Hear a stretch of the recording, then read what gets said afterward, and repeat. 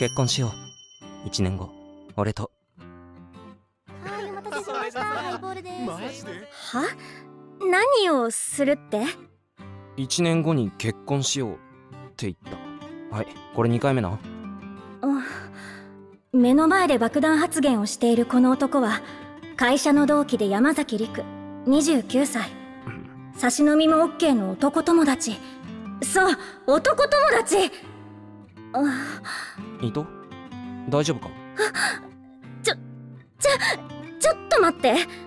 私たち友達だよね。恋人でもないのに。ああ俺は伊藤のこと好きだよ。そんなこと今まで一度も言ったことないじゃん。うん。でもずっと前から好きだったんだよ。結婚は1年後って言ったのは伊藤が30歳までは仕事頑張りたいっていつも言ってたから伊藤が恋愛しようと思った時に他の男に奪われたくないからさ。だから予約というか俺の決意表明。伊藤に今その気がなくても1年かけて距離を縮めたい。そんなわけでここがスタート地点ってことでよろしく。決意表明って重大なことをさらっと言ってますけどえ？山崎ってこんなタイプだったっけ？でも冗談ではなさそう。待って。いきなり何言ってんの？本気？おいおいそんな固まるなよ。終電。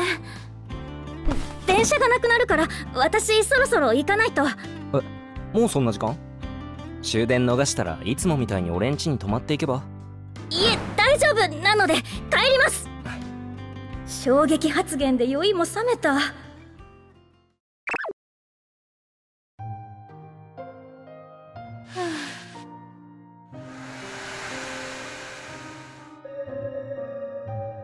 山崎のことは昔からよく知っている。学生時代の私たちは陸上漬けの日々だった。学校は違ったけど同学年の山崎は記録保持者で有名人だった。速いタイム。綺麗なフォーム。ああ憧れの選手だった。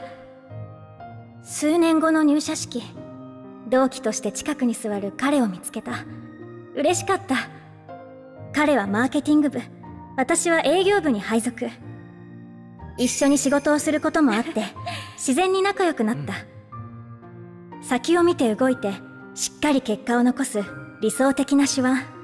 同期だけど尊敬しかない。そんな山崎が私のことを好きで1年後に結婚？ありえない 5年前あのことが辛すぎて私の日常から恋愛をなくしたの。気づけばもう恋愛の仕方そのものを忘れてしまったみたい。恋愛は仕事ができるようになってからなんて便利な言い訳をもう何年吐き続けているのかな私。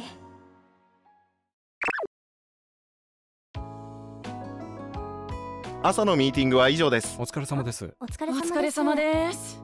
いろいろ考えすぎてよく眠れなかったわ。おはよう伊藤。何普通に声かけてきてんの？しかも睡眠バッチリ足りてそうな爽やかな顔で。おはよう。ちょっと山崎こっち。ねえ昨日のあれ覚えてる？昨日のあれ？あもちろん。伊藤とけそうそれ。覚えてるのね。酔っ払いの妄想じゃなかったんだ。俺も心配してた。伊藤覚えてるかなって。よかったわ確認できて。はははじゃなくてあれって本気なの？いきなりすぎて困惑してるのよ。山崎の態度とか何も変わってないし。変わるのはこれから。伊藤の方だよ。えすぐ近くに自分のことを好きな男がいるって認識したら気になって仕方なくて。俺のことをいつも目で追うようになるよ。きっと。